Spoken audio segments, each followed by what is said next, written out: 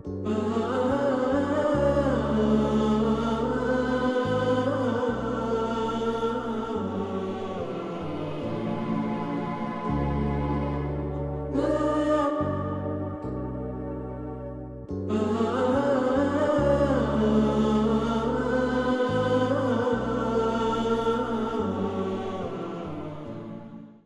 بالله من الشيطان الرجيم. بسم الله الرحمن الرحيم. والحمد لله رب العالمين. وصلى الله على خير خلق حبيب إله العالمين أبي القاسم محمد وعلى آله الطيبين الطاهرين. واللعن والعذاب على أعدائهم أجمعين من الآن إلى قيام يوم الدين. لا زال الحديث في شرح دعاء الصحيفة السجادية صلى الله على الإمام السجاد ووصلنا إلى قوله دون الأمم الماضية والقرون السالفة. الأمم هي تطلق على الجماعة من الناس يجمعهم أمر واحد من أصل أو دين أو مكان أو زمان بل قد حتى يجتمعون على فعل. لعن الله أمة أسست أساس الظلم والجور عليكم أهل البيت. لعن الله أمة جاهد وهكذا مجموعة من الروايات والزيارات والأدعية في لعن من الأمة التي اجتمعت على قتال الإمام الحسين وعلى قتل الإمام الحسين. لعن الله أمة سمعت بذلك فرضيت به. أمة أزاحتكم أزالتكم عن مراتبكم التي رتبكم الله تعالى بها. تفرق الأمة التي بعث فيها رسول الله صلى الله عليه وآله يعبرون هذا التعبير يقولون أمة الدعوة وأمة الإجابة. أمة الدعوة أي الأمة التي بعث فيها النبي يعني قريش عامة يعني عامة قريش هذه أمة بعث فيها رسول الله صلى الله عليه وآله. وأمة النبي يعني ال الذين آمنوا وصدقوا برسول الله صلى الله عليه وآله. فقد يقال أمة النبي يعني الأمة التي بعث فيها رسول الله سواء الذين صدقوه أو لا. لعله حتى من كان في ذاك الزمان من اليهود والنصارى وغيرهم. وإذ مرات أخرى يقال أمة النبي يعني الأمة التي آمنت فإذا اجتمعت فإذا كان المراد المكان الذي بعث فيه رسول الله والزمان فيكون الإطلاق الأمة بمعنى الأمة التي بعث فيها بمعنى أمة الدعوة.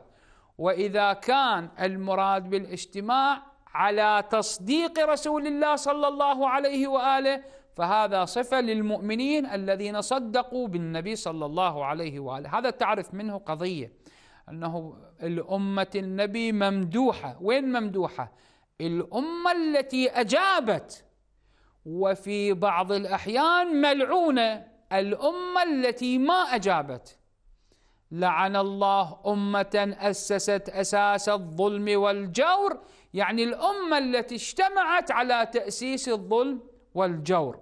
لعن الله أمة سمعت بذلك فرضيت به يعني الأمة التي اجتمعت على الرضا بمقتل سيد الشهداء صلوات الله عليه. الظاهر الظاهر والله العالم من قول الإمام دون الأمم الماضية أن الإمام يريد أن الله من علينا إحنا هاي الأمة أمة الأمة التي استجابت لرسول الله. التي آمنت بالنبي التي صدقت برسول الله وبأوليائه الأئمة صلوات الله تعالى عليهم من أمير المؤمنين إلى ولي الله الأعظم جعلنا الله تعالى فداء لتراب أقدامه. ليس المراد الأمة التي بعث فيها لأن هذا من, من ماذا انتفعوا؟ المن فرد عطاء من الله سبحانه وتعالى. هؤلاء الذين كذبوا رسول الله أو مثلا كذبوا أولياء وخلف بماذا استفادوا؟ ما هي فائدتهم؟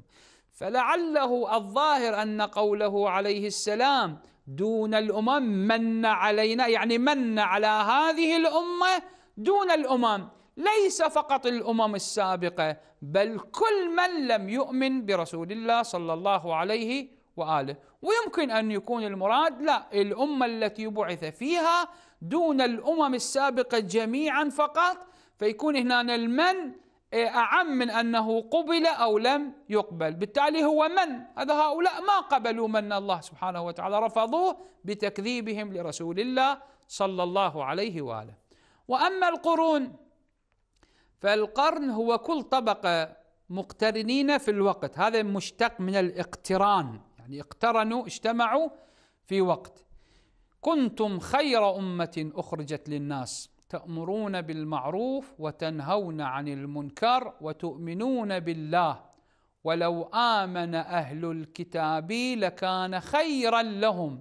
منهم المؤمنون وأكثرهم الفاسقون. هنا هذا طبعا ظاهره المراد بالأمة التي استجابت لرسول الله وأمرت بالمعروف ونهت عن المنكر لا الأمة التي حاربت رسول الله ولا الأمة التي ظلمت عترة النبي صلى الله تعالى عليه وآله. كفت قضية لطيفة في هذه الآية. ولو آمن أهل الكتاب لكان خيرا لهم. منهم المؤمنون وأكثرهم الفاسقون.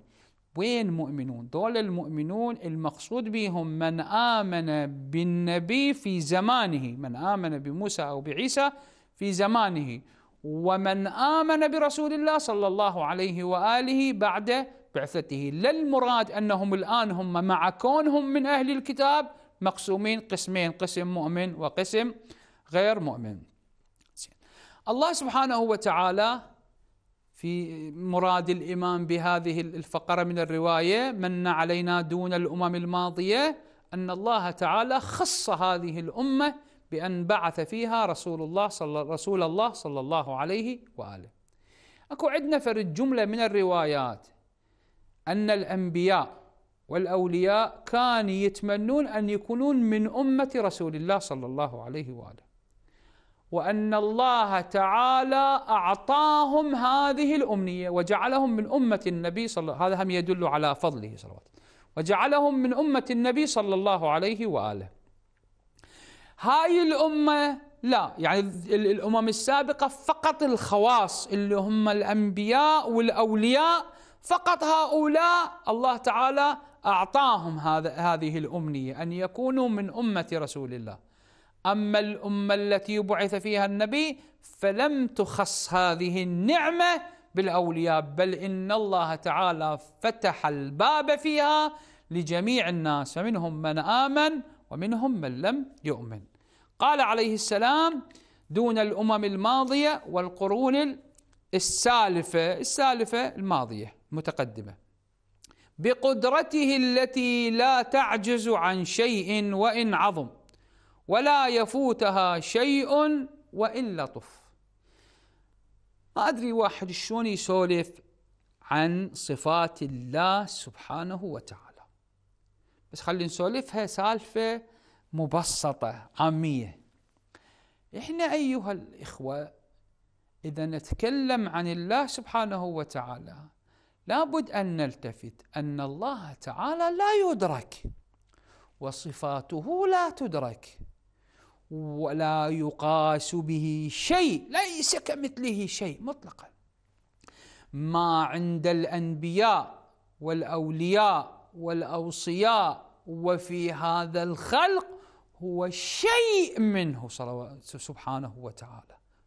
قد هذه القدرة التي ندركها في عالم الدنيا هذا شيء من قدرة الله سبحانه وتعالى. إحنا ما ندرك تمام القدرة ولا ندرك بقية الصفات. ولكن يمكن يمكن أن نعرف أن الله تعالى قادر إذا رأينا القدرة في الأثر يعني أثر القدرة. ونعرف أن الله تعالى خالق إذا رأينا أثر الخلق. ونعرف أن الله حكيم إذا رأينا أثر الحكمة. فإذا نجد القدره يمكن أن الإنسان يعرف أن الله تعالى قادر أو يفهم فرد شيء بسيط من قدرته من خلال من خلال النظر في في في, في آثار القدرة في هذا الخلق في هذا الكون. في الرواية. طبعا هذا أكو آيات خو بعد في قدرة الله.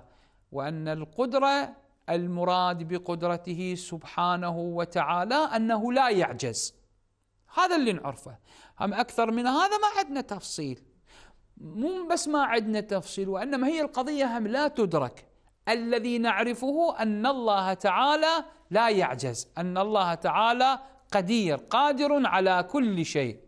في رواية الإمام الصادق صلوات الله عليه عن المفضل بن عمر. الإمام يقول للمفضل انظر إلى هذا الجراد ما أضعفه وأقواه. عجيب. هذا الجراد هم ضعيف هم قوي. شلون هم ضعيف؟ هم قوي. هو لو ضعيف لو قوي. خلينا نروح نشوف الإمام كيف وصف هذا الجراد بالضعيف والقوي في عين الوقت.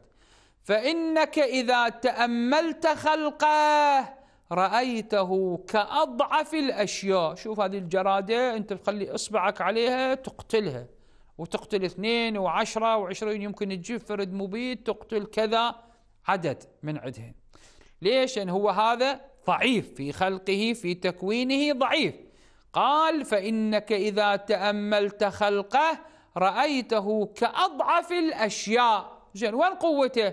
قال وإن دلفت عساكره نحو بلد من البلدان لم يستطع أحد أن يحميه منه.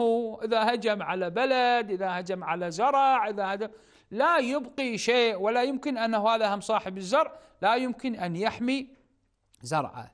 في رواية الإمام الرضا صلوات الله عليه سئل لما خلق الله عز وجل الخلق على أنواع شتى ولم يخلقه نوعا واحد. طبعا هو طبيعة البشر أنه هم يكون يسئلون إذا هو لو خلقهم على نوع واحد كان سئلوا ليش ما تعدد؟ ولما تعدد الخلق قالوا لماذا ما جعله على نوع واحد؟ هم يسألون هذا السؤال ليش ما كل الخلق جاء بطريقة واحدة بمثل واحد؟ لماذا الله سبحانه وتعالى خلق كل شيء؟ نوع الخلق. لما خلق الله عز وجل الخلق على أنواع شتى ولم يخلقه نوعا واحد؟ فقال عليه السلام لئلا يقع في الأوهام أنه عاجز. كيف عرف الله تعالى قدرته لخلقه؟ لما خلق لهم ألوانا شتى من الخلق. ففي هذا في هذا الخلق ومن هذا الأثار علم الناس أن الله تعالى على كل شيء قدير. فلا تقع صورة في وهم ملحد إلا وقد خلق الله عز وجل عليها خلقا.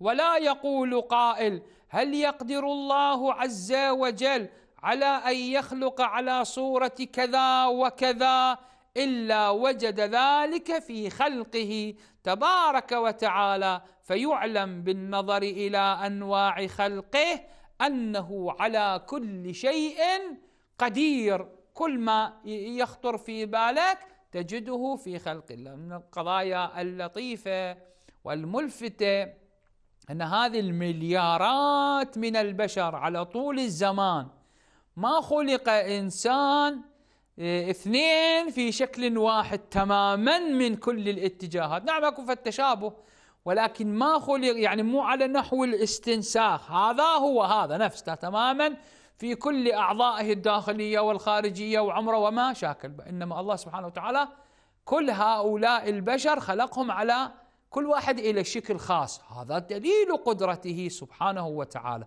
هذه العدد الضخم من البشرية وكل واحد إلى لون الخاص كل واحد إلى شكل الخاص كل واحد كل واحد. هذا دليل على قدرته سبحانه وتعالى. ثم قال عليه الصلاة والسلام فختم بنا على جميع من ذرى لعل فيه إشارة إلى قوله ما كان محمد أبا أحد من رجالكم ولكن رسول الله وخاتم النبيين وكان الله بكل شيء عليما. قال وجعلنا شهداء على من جحد. يظهر أنه الوقت قد انتهى. تتمه هذا الحديث إن شاء الله في الحلقة السابقة. والسلام عليكم ورحمة الله وبركاته. وصلى الله على محمد وآله.